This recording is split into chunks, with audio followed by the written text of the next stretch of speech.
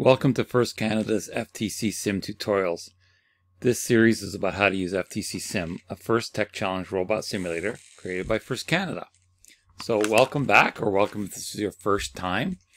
Uh, one thing that you'll notice if you've used an older version is that now the location of the website is ftcsim.org. And You'll also notice if you look closely enough that there's been a lot of changes. And so that's why some of these things are being redone.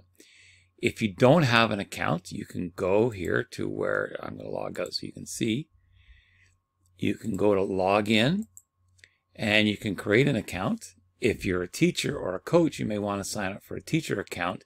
And there's a separate video that explains how to um, create a class or a team and assign them things that they can do and you can see what they're doing and um, also prevent any personal identifiable information from being shared on the internet. So I'm going to log in.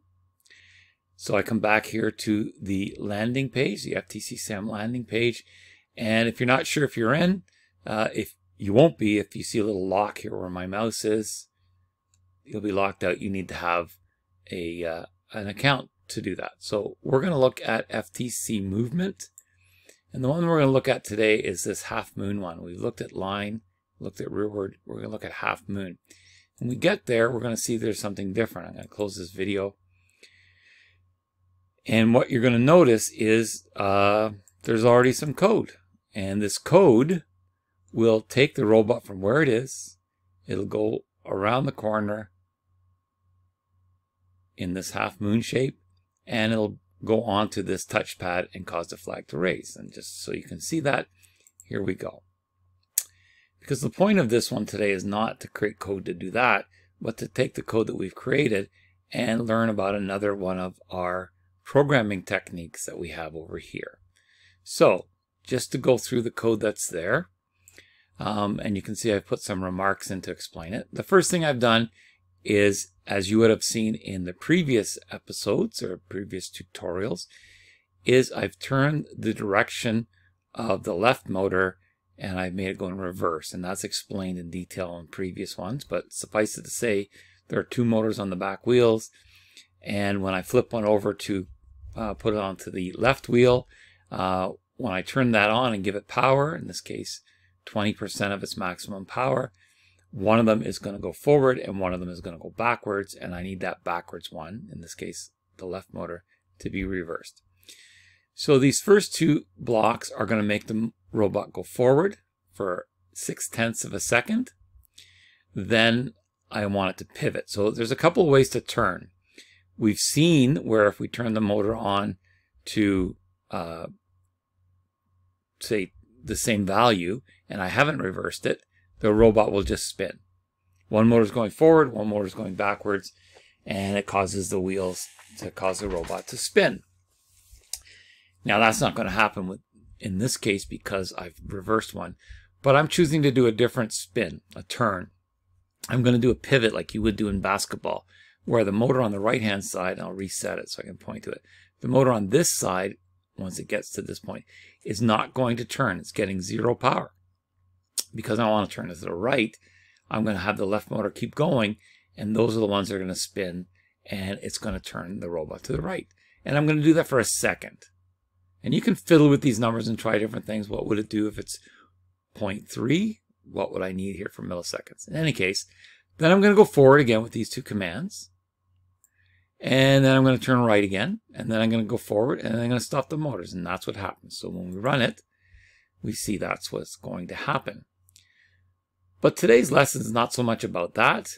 Today's lesson is how to use one of these other things that's here. And one of the other things that's there is I'm going to create a, under miscellaneous, a robot function. And what I do is I drag one in. There it is. And I'm going to do this one so that I can turn right. So I'm going to type in turn and then capital R right because I want to use uh, what we call camel code, which is just when you have multiple words in a name of a function in this case, that the two words um, are easier to read if every new word starts with a capital. And it sort of looks like the humps and camels. That's what we call it. So I'm going to take this one, this command, I'm going to just duplicate it and I'm going to drag it in. And the second one, which I need in order to turn, I'm going to duplicate that. I'm going to grab it in. And it's going to be really small. I just want to point this out. And then since I don't need this anymore, I'm going to just uh, uh, delete that and delete this. But now I need to have something in there that's going to make it turn. So I'm going to go over here to where I went to get the robot function. And I'm going to see now there's a new one that's created called turn right. So I'm going to put it in here. And when we test it, just to see, uh, you can see it turns. It does the same thing as it did before, but I'm, I've called it something. I've created this function, and then I'm using the function. But it's also used down here. So I'm going to dis, dis, delete this one. I could disable it, but I'm going to delete it. And this one. And I'm going to delete that. And I'm going to put that same function in again. So I'll put it in again. Turn right. And there we go. And again, I can test it and it's going to do the same thing because those are the commands that it does. Okay, there we go. But you can see that there's two other commands that are doing the same thing, and that's where it's going to go straight. So I could do the exact same thing. I could create another one. I'm going to call this one uh, straight. And we don't start with a capital, and in my case, I don't. Uh, although uh, it would be nice to actually spell it correctly, so I'm going to go in here and I'm going to spell it correctly.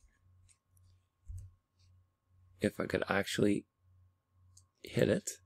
I'm not sure. There we go. And so I'll do the same thing. I'll duplicate this one, drop it in, duplicate this one, drop it in, and then I'm going to get rid of these ones. This, this is the same one right here, right? So there, delete those blocks, delete those blocks, and so on.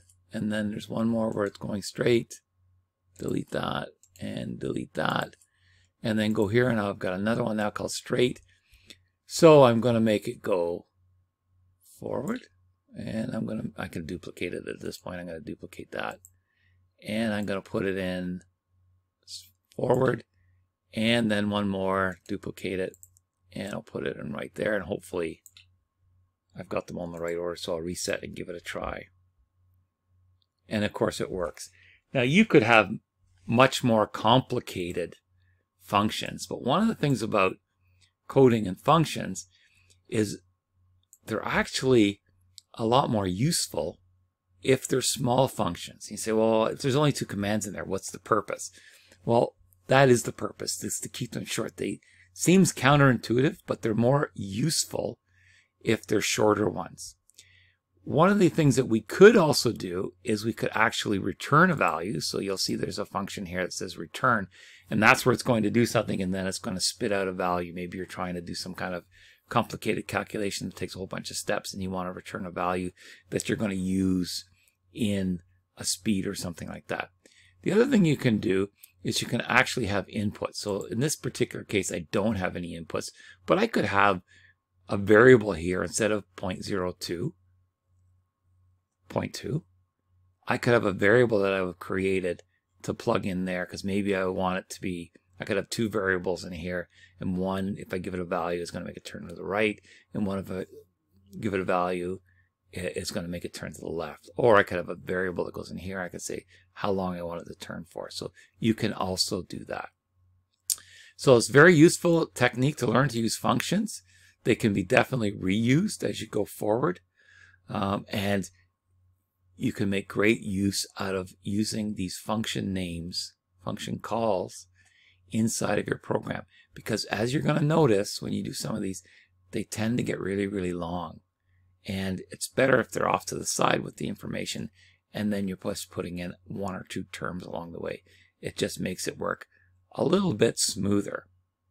So hopefully you've learned a little bit about these functions and hopefully you'll find a way to employ them in your um, FTC SIM code.